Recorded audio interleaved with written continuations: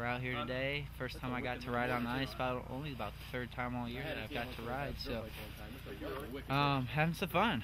Ice got a little messed up because uh, we had so much snow, but just out here getting ready, doing a little ride before Daytona.